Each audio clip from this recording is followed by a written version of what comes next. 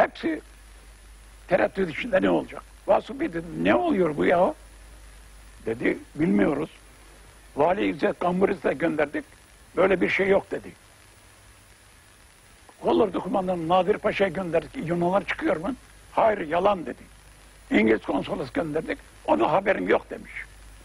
Şimdi dedi Amiral Galtrap'a gönderdik. Oradan haber bekliyoruz. Ortalıkta kararmaya başladı.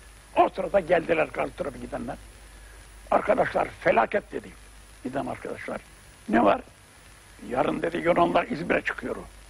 Amiral Galtrap İtilaf devletlerince Yunanların İzmir'e çıkması kararlaştırılmıştır.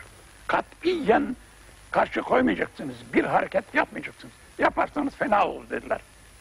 Dedi. Ne yapalım? Herkes bir şey söylemeye başladı. Bir genç var orada.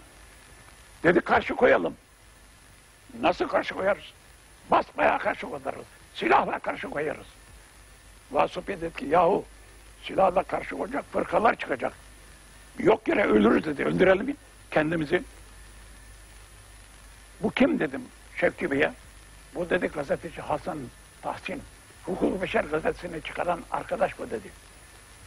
Heyecanla söylüyorum. Mütemadiyen silahla müdafaa edelim. Ya ölür dedi Vasıf Bey. Sefalet içinde yaşamaktansa ölmek daha hayırlıdır. Ölelim dedi. Ne var? Hasan Tahsin'in ilk kurşunu işgalci düşmana sıkıp şehit edilmesinden sonra Konak Meydanı'nda büyük bir katliam oldu.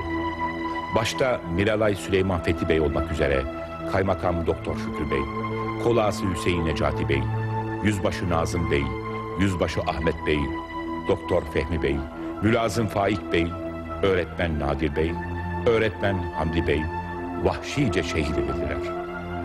Saatler ilerledikçe şehit edilenlerin sayısı yüzleri, binleri buldu.